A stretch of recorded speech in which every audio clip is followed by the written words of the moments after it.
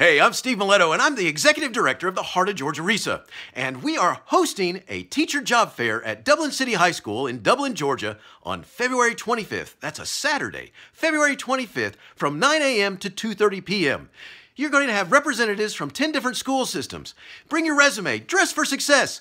Be ready to show your best face because you're going to have a chance to impress some people who are looking to hire some good teachers. That's right, you might even get an interview that day.